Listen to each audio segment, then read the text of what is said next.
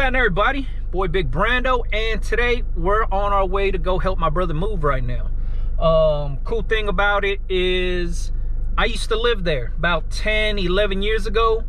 So I'm gonna bring the camera just to show the room that I used to screen print out of and, and do all that stuff, see what the room looked like. Um, like I said, I ain't lived there in like 10 or 11 years. My brother's finally getting up out of there, so um, about to move all his kids' stuff and then all my brother's stuff out of there. So I'm just gonna take the camera along, to see what it is.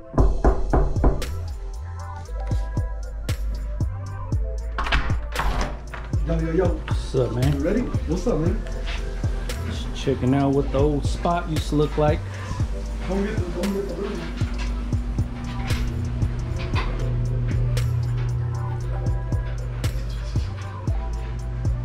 Yep, this used to be my old spot. Had the TV way up there.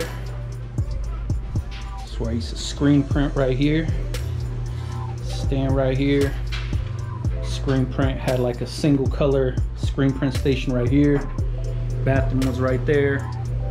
That's where I washed out all the screens. Computer and stuff here. Bed was right here. Shoes and everything here. Racks of hats and shirts all right here. That's why the TV was up so high.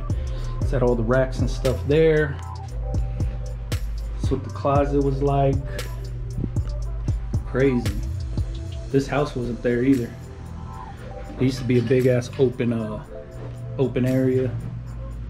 Yo, so obviously a few days have gone by. Finished helping my brother move. I didn't want to bust the camera out because we're moving refrigerators and bunk beds and dressers and all that kind of heavy stuff. I didn't want to just bust the camera out and be like, hey, let me record this real quick.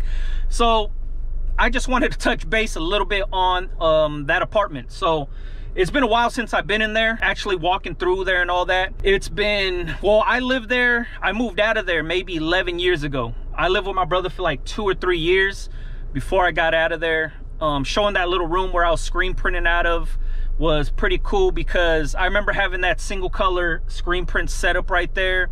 I used to stock a lot of the screens in that closet. I used to burn the screens. I had a small like bootleg setup where I used to burn um, the screens in that closet. Then I would wash them out in the bathroom right next door. I would wash out all the inks in there. It, it was crazy. Um, even like seeing where the TV was mounted up. I remember mounting that TV because I had all these like funky little t-shirt racks, or not t-shirt racks, but these little like shelving racks that I got from Ikea. And it filled up the whole bottom. I think it was like five or six feet um, high. And then I had to put the TV up above, right? And those little shelves, what I used to do, what I used to do was screen print a bunch of the shirts, then I'll fold them up, bag them up, and then put them in those shelves so when orders would come in.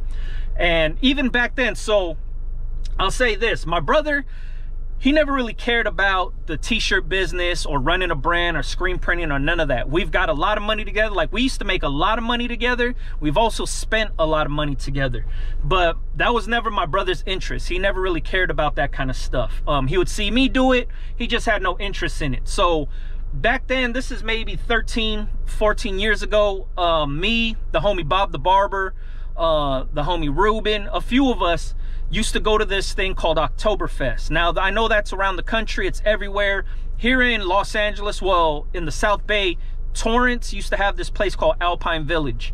And that's where they would have Oktoberfest from like September 1st to like November 1st or something like that. So for those two months, every single weekend, Friday, Saturday, Sunday was like a party every single weekend within those months. What me and the homie Bob the Barber would do is we would press some shirts up Friday, wear them Friday night, walk around, do the promotion thing. People start seeing the shirts, reading the shirts, they like them. Saturday, we'd pull up with backpacks and duffel bags and sell them inside there, right? And it was just an easy call. We're making money hand over fist doing this. Um, it, it, it went on for a long time. We were doing it for years. Um, and that's how I got the idea of actually seeing what people how they react to certain shirt designs versus just going out and printing a bunch of shirts right? We would print one or two for us to wear. We would walk around.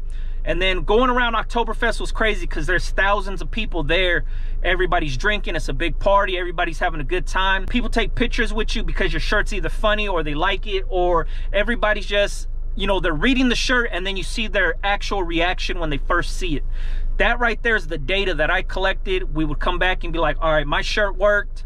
Let's print a bunch of these and take them tonight. Or we'd be like, all right, your shirt worked, mine didn't. We'll print a bunch of those and then we'll bring them over there and sell them up. So it was crazy to even think that back then that's our our process was we didn't want to just screen print a bunch of shirts and then not know if they're gonna sell we would test them out at Oktoberfest and then it was cool man just walking around the room or the apartment brought back all of those memories of doing that stuff so I wanted to share it with you guys like I said it, has been 11 years since I've been in there I mean obviously I visit my brother and stuff like that his, his kids live there so I would go over there to, to visit but walking through there and just remembering like when I used to live there with my brother and all the stuff that we used to do and parties we used to have and all that stuff, it was cool to reflect on. You know what I mean? Hopefully that kind of helps you guys out when it comes to, hey, what design should I do? How many should I print of each ones? doing this i've been like i said i was doing it you know 12 14 years ago. I do the same thing now is just testing it out right? I got to see what the market says about my design. So i just print one up for myself or i print one up now for for my son. We walk around we see what people say I collect that data and I see what the reactions are, and then that tells me if it's a good design or bad design. That way, you don't risk a ton of money you know, pre-pressing a bunch of shirts or buying transfers for a bunch of designs that you don't even know if you could sell yet. That way you take the guesswork out of it. You know that there is some sort of interest in those designs and it makes the sale a little bit easier for you. So you don't tie your money up in some stuff that you don't you're not too sure about, you know what I mean? All right, so here's something I want to ask you guys because I'm not 100% sure what your guys' thought process is or how things work for you guys. I want to know, leave it in the comments if you guys are running your own brand or if you're just doing like custom shirts or if you kind of do both. The reason being is because a lot of times I talk about pricing. A lot of times I talk about, um, you know, fulfilling orders and doing stuff. But there's a big difference between running your own brand and pricing stuff for like retail and then um, doing custom shirts like one-offs or, or you know maybe like five shirts for a family or something. And then also doing stuff and acting as kind of like a production house or print shop where you're printing maybe you know 48 to 100 t-shirts for another brand or somebody else. The pricing for all of those are gonna be different. So you guys see me make the video about the fulfillment stuff. I got a lot of questions asking, you know, should I be doing this? Is this the pricing method I should do for my custom shirts? Or is this the pricing method that you use for, you know, when you're printing for other brands? That video was just based around fulfillment only. That's not me printing you know um 100 shirts for a certain brand. That's not me you know printing for my own self and selling for retail. And then obviously that's not a custom order.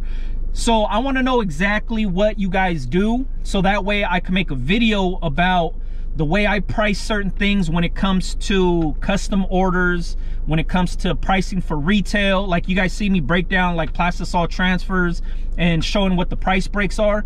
That way I have a better idea on making the video so it's not so confusing for a lot of people. I know when I made that fulfillment video, a lot of people not were confused, but they were just, they really didn't understand what I was talking about because they don't really grasp idea of fulfillment and what I actually do. So just to clarify, running fulfillment is basically just being print on demand for another brand right? So the brand does all their marketing. They do everything on their own. When the orders come in it comes to me. I print them up. I ship them out for that brand.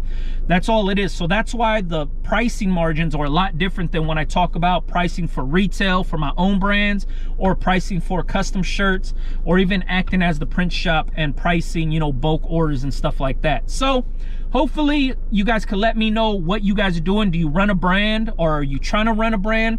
Do you do custom work? Are you printing for other people? Let me know what you guys do. If you do all three like myself or all four like myself let me know also. You know what i mean? I want to be able to provide quality content for you guys but i also have to have some kind of data coming back towards me knowing what kind of stuff to um, do. Sometimes people just say hey man what should i price my shirts at? I don't even know what that means. Like price my shirts? Are you doing custom stuff? Are you doing your own brand? Are you pricing for retail? You know what i mean? So there's a lot of variables in that. Get a little bit more detailed with asking me the questions so then that way i can make the video for you guys all right? Appreciate you guys for messing with the vlogs. Catch you guys on the next one man. Yeah